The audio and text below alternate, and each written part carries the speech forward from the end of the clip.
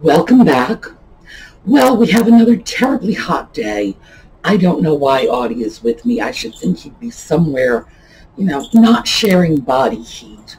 Uh, but he's here nevertheless. Um, so do you want to say hello? I had to haul him off the neighbor's porch today, well, their patio. Um, he came home with a chipmunk in his mouth this morning. And the smart little thing was playing dead because he loses interest in them when he thinks they're dead. So I yelled at him and told him to let it go. So he did. And the little chipmunk scurried off. I told him he was a naughty cat. And so naturally he had to go over to the neighbor's patio so that I would understand I had hurt his feelings. And obviously I had to go over there and collect him, you know, pick him up and carry him home so that he would understand I didn't mean to hurt his feelings. I just don't want him killing chipmunks. So I hope the poor little chipmunk is all right. It just ran into the hedges and I haven't seen it since.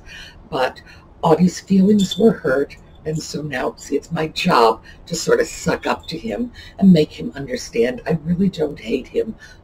I just don't want him killing chipmunks. Is that okay? Yeah. All right. Well, we will be back in a minute with a little bit of a Bedford Antiques haul. I know, just when you thought I had cleaned them out, gee, just when I had thought I had cleaned them out too. In a minute.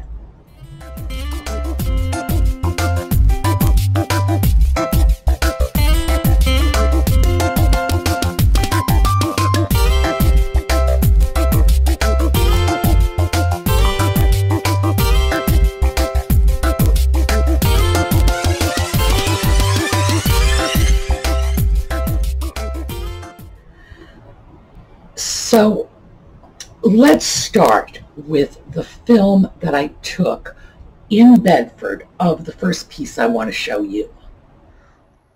Well, let's take a look at this.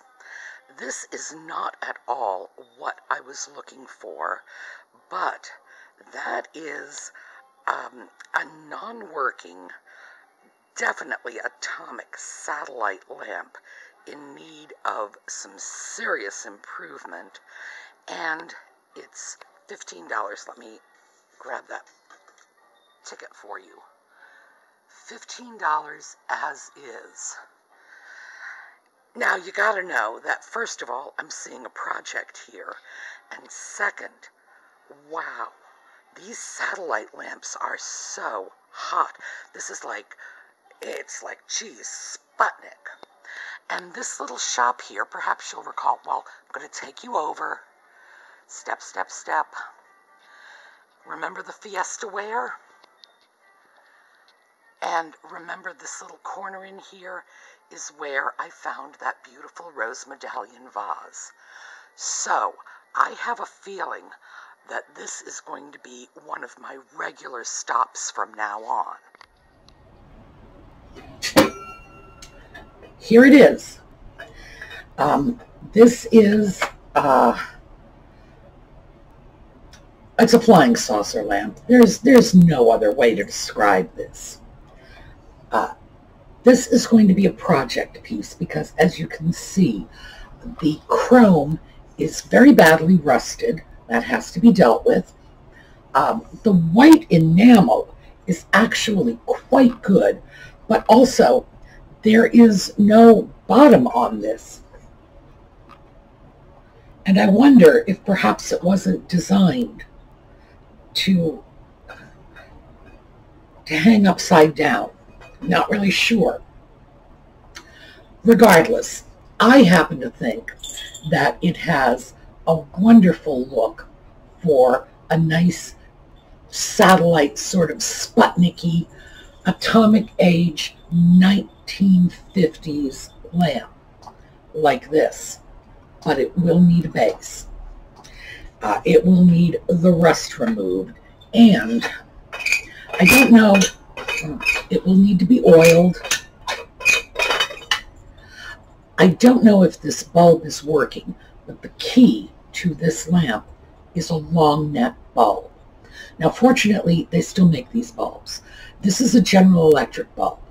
And GE has been using the same logo on their bulbs since I was a kid. So this bulb could be a year old, it could be 40 years old, no idea. But if I'm going to put this lamp on market, I have to make sure that the new owner is going to be able to get bulbs for it. So I'm going to have to get some modern bulbs. Um, they're still made. I can go with GE or Sylvania, but I won't go with any any off brands. The reason for that is when you buy a lamp and you need a special kind of bulb, you need some assurance that that bulb is always going to be available. If we stick with the major brands, people who have been making these bulbs for 50 years, there's a better than average chance they're going to make it for another 50 years.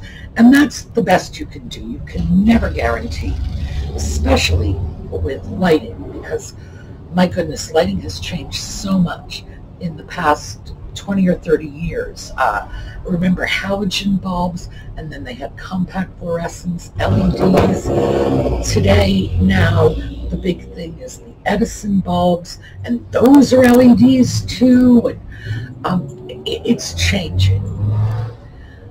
But I can take steps to protect the new owner, at least to some extent. And of course, I'm going to do that. So that will be a project. We'll have to turn that flying saucer into a desk lamp. Um, that should be fun. So let's take a look at some of the other stuff. Um, I think coming up next was, oh yes, the little, the crowded, crowded, tightly packed little booth. Let's take a look at that. Well, I've been prowling around in this little booth here, and as you can see, very crowded. In fact, I actually had to leave my bag out here as I wandered in, but it was worth the trouble it took to squish in because there's this beautiful little Japan teapot with a matching plate. Very nice, $3. And this for $4, which is an invalid feeder. Hmm.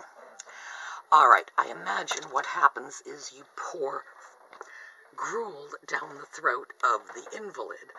Um, obviously a relic of days gone by.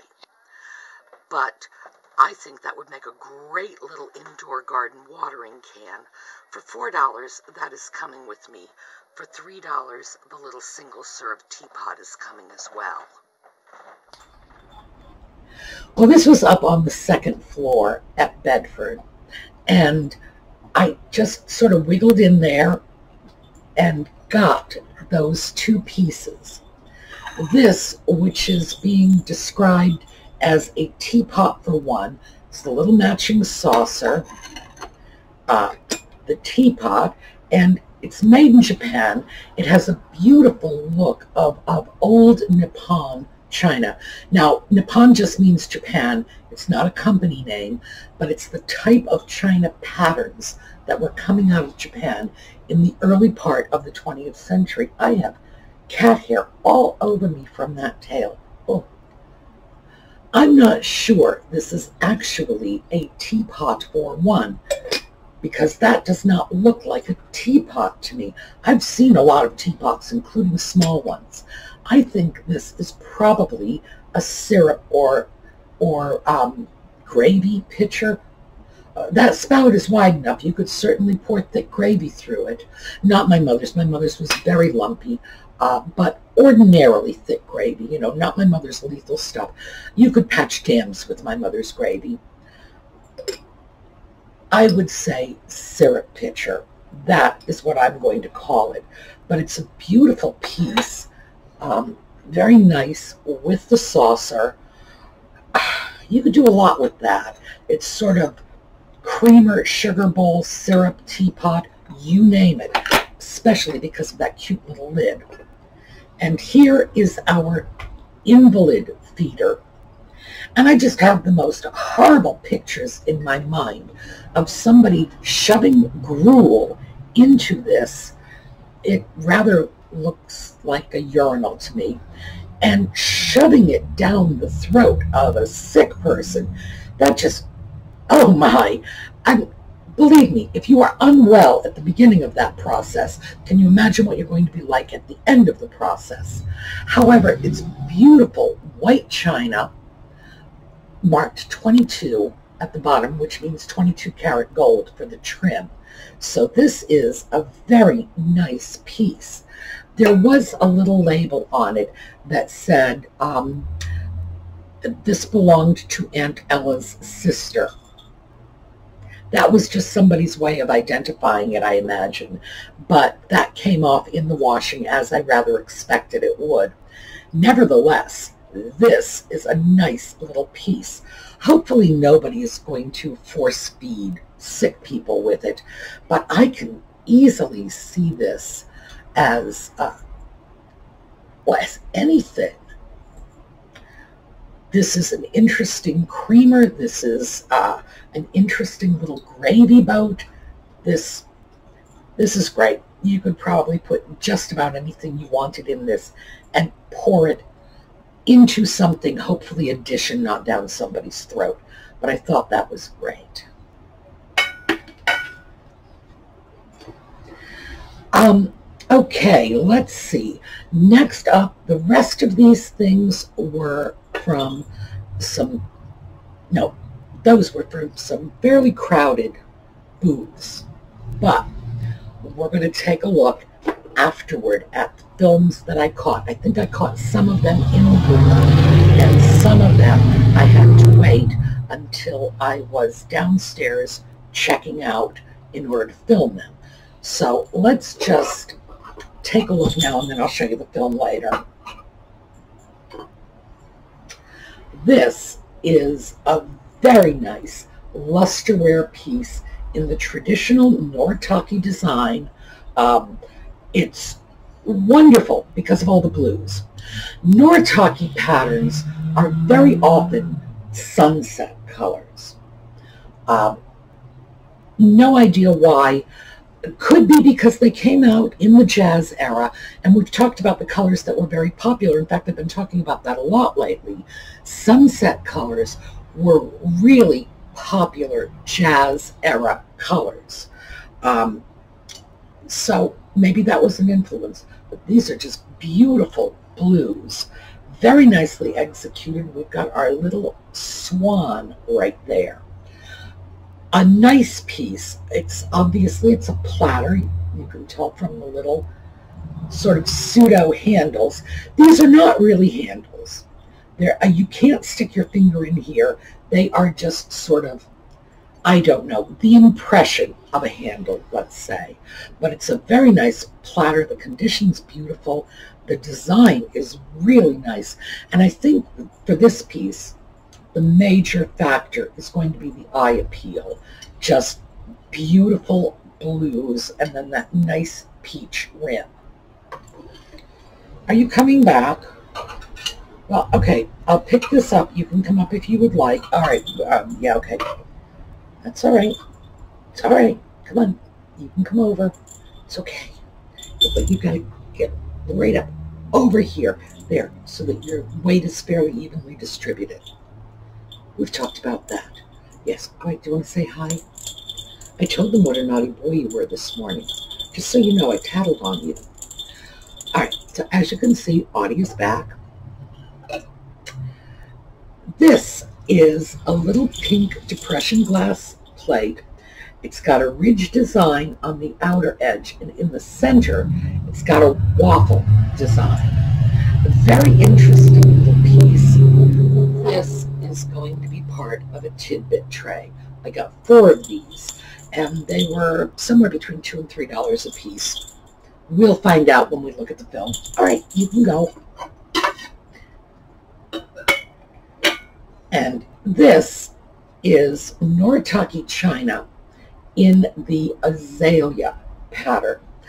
Now, the azalea pattern was a, a very common Nor, uh, Noritake pattern it was on china sets. I've handled salt and pepper shakers in this pattern. It's very very popular still.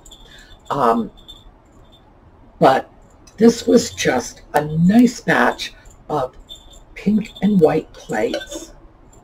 You see what I'm thinking? I'm thinking pink and white plates and a lovely little pink depression glass top. And we've got the start of a tidbit tray. Now, I say we've got the start because there's more. All right. Here's one of these little teapot figurines. I don't know what they are other than figurines. They have a little hole in the bottom. Now this hole was to uh, conserve materials. Figurines were very often made this way. The porcelain was poured into a mold and sloshed around the exterior of the mold. And then you take it out and of course, you know, there's this little hole that was in the mold to, you know, that's how they used, how they filled it. Uh, the hole serves no purpose and the inside is empty. So this is just, in effect, a shell. And this is cute. It's, uh, it looks like it's a teapot wheelbarrow or garden cart or something with a little watering can. Pink with a few accent colors. Very nice. Now, course, we've got this, remember? And this, so we have a tidbit tray. Now, these were $2 a piece, and I grabbed one, two, three, four. I grabbed six of them. Here's another pink one. This is, I don't know. I have absolutely no idea. I'm going to say it's a bakery. Whatever it is, it's not very clear, and it's a little tiny teapot-like bakery. I don't know. I do not collect little figurines like this. I've seen many of them, so I know this is common. And I've also seen larger teapots that have designs like this, like, you know, pretend garden carts or pretend bakeries. It's popular. This one is a little teapot pretend house. It says Red Rose on the back, which is, of course, uh, a brand of tea. And again, if you look at those colors, this is pinks with yellows and greens. It's going to look very nice with that Noritake plate and the little depression ware plate. So, uh, oh, this one too. Let's take a look at this. This one also says Red Rose on the back of it, and it is, this one is an open refrigerator. Uh, I have no explanation for this at all. Why would anyone want a teapot that looks like an open refrigerator? But it is cute as the dickens. And that certainly going to go well. There's pink in this. There's also purple and green. Again, that'll look very nice with these plates.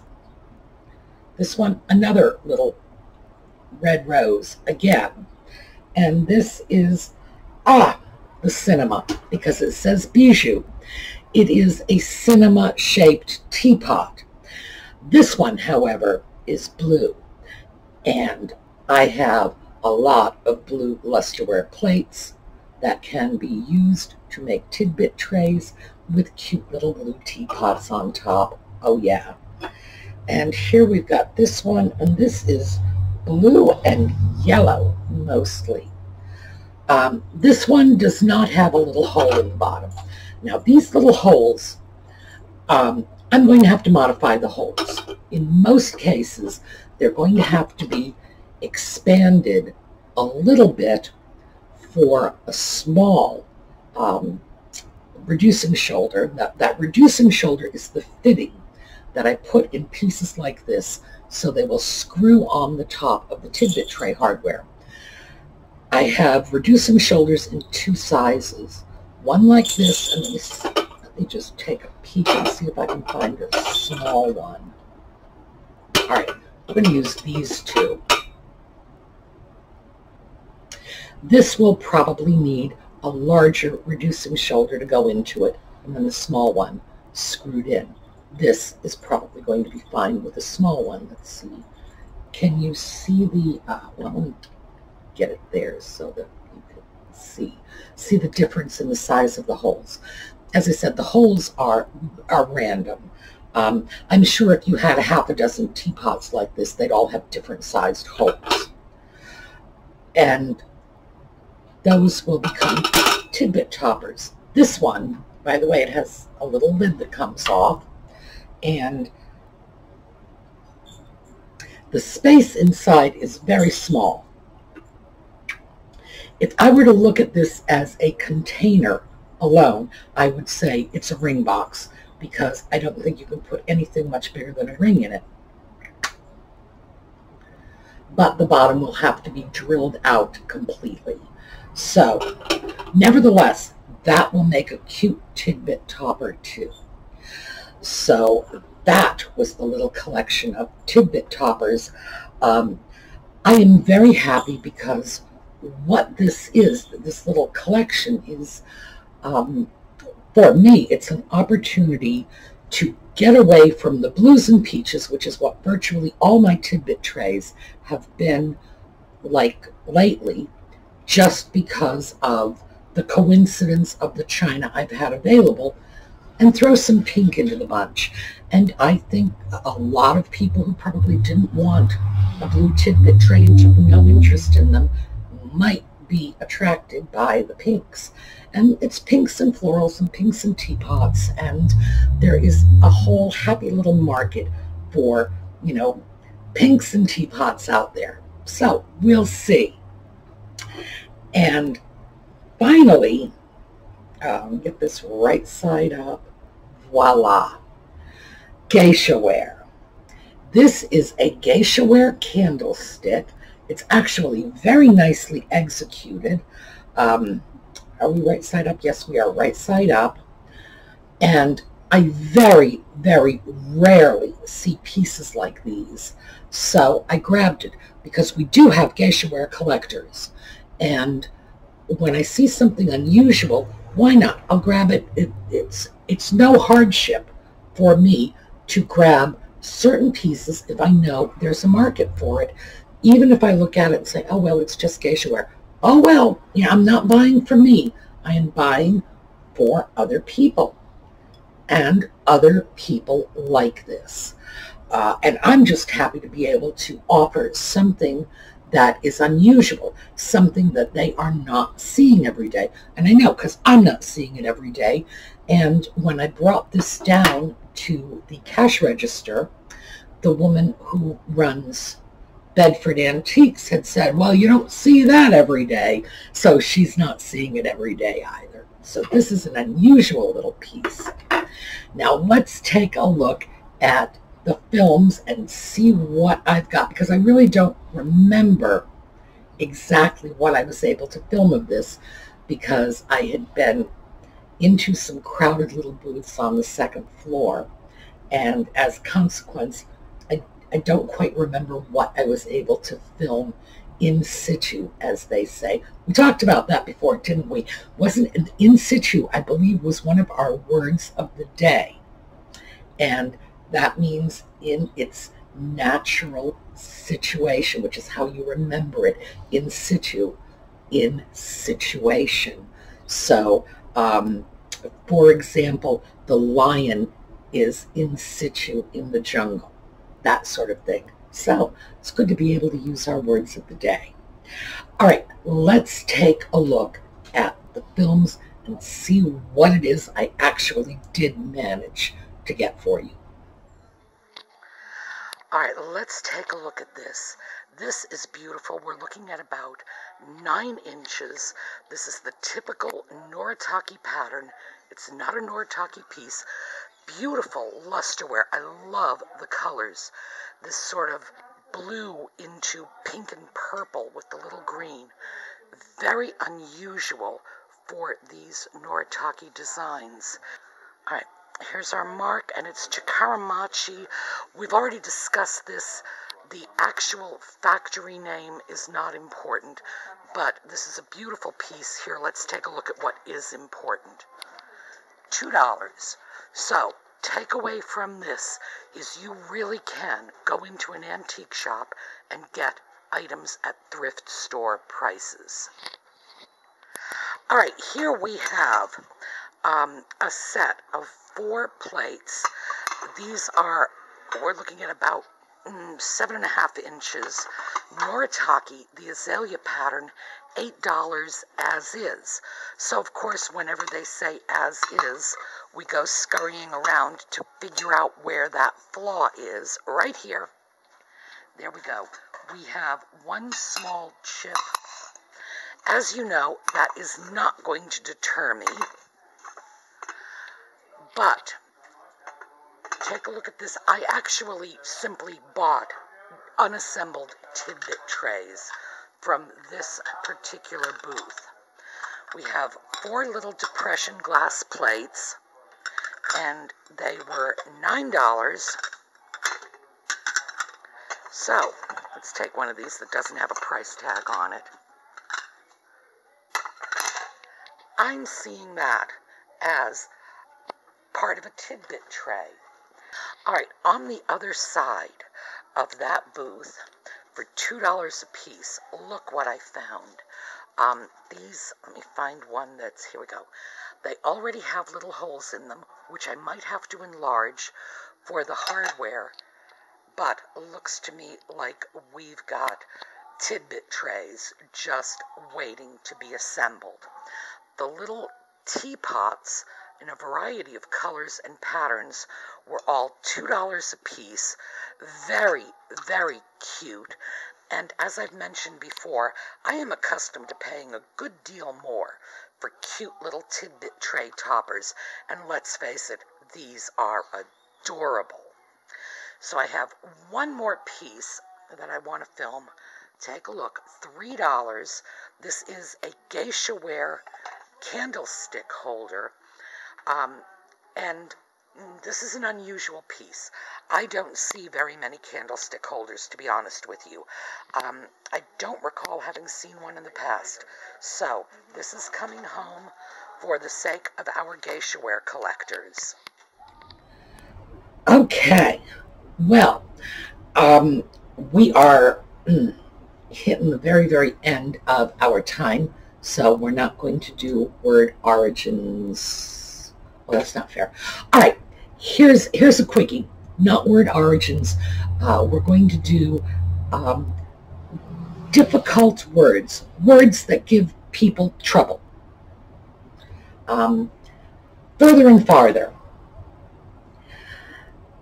Farther refers to real distance. Further refers to metaphorical distance. My neighbor lives two houses farther down the road because it's real distance. Gee, we're not going to talk about marriage until we get further along in our relationship because it's metaphorical distance. That's one that gives a lot of people trouble. So, there, at least we're going to have a word pair for the day. All right, have a great day, everyone. I will not see you tomorrow because it's Tuesday, and Tuesday is the day off. I will see you on Wednesday. See you then.